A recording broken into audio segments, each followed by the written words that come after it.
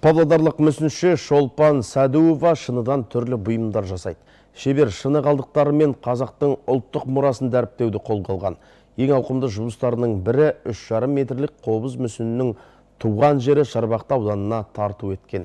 Шыныдан қалған ғажап туындылармен тілшіміз танысып келді. Павлодарлық қолөнерші Шолпан Садуова 20 жылдан аса уақыт шыны қалдықтарынан түрлі заттар жасайды. Өнер иесі көбіне ұлттық нақыштағы бұйымдарға баса назар аударады. Мәселен, бесік, домбыра, қобыздың түр-түрін ойлап тапқан. Қазіргі уақытта 2,5 тоннадан тұратын 3 метрлік қобыздың мүсінін жасау үстінде. Қолөнершінің туындылары ашық аспан астына қойылады. Шыны мүсіндері де ауа райының ыстық суығына төзімді. Мәселен, бұл қобыздың мүсінін бір ай көлемінде құрастырған. Шыны деген бұл өмірде ең қатты қалдық. Қалдықтардың ішіндегі темір 300 жылда шіріп кетеді.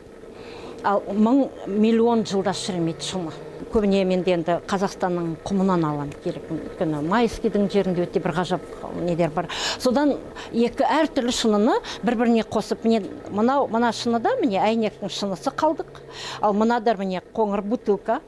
Мынау автомобильный фардар автомобиль шыныларды солардың бәрін бір бірімен келістіріп мен міне мынандай мынау осындай тақтай шын керек шынына міне жасадым. Шебер туған елінің көркем жерлерін шыны бетіне бейнелегенді ұнатады. Ерекше жұмыстарының бірі павлодар тұрғындарының сүйікті мекеніне айналған ертіс жағалауы. Мынау ертістің суы енді өзіме сондай ой келді дағы.